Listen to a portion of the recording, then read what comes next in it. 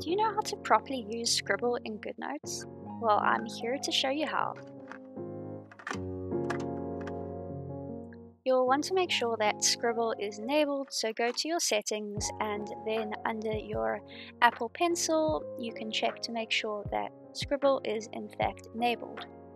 From here you can actually test out a tutorial of the different features if you would like to do that.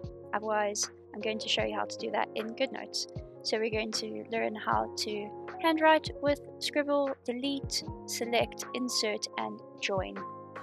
So in the edit mode of GoodNotes, you want to select your text, choose whatever font you want to use, and then you're going to essentially just start writing with your Apple Pencil.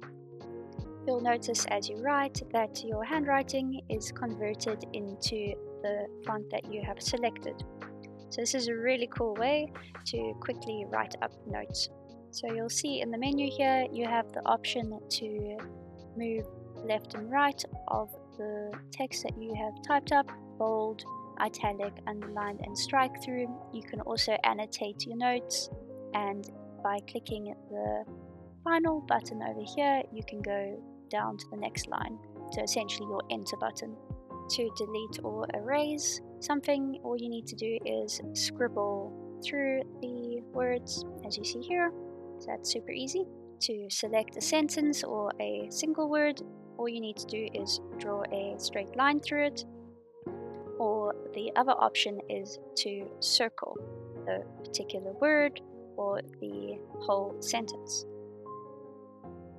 You can insert a space by drawing a vertical line between two words and to insert a word between there just hold down and wait for the grey bar to appear and then you can write in the word that you want.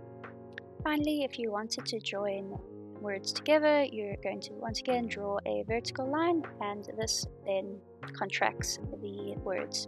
If you want to separate it, draw a vertical line between the words and there you go.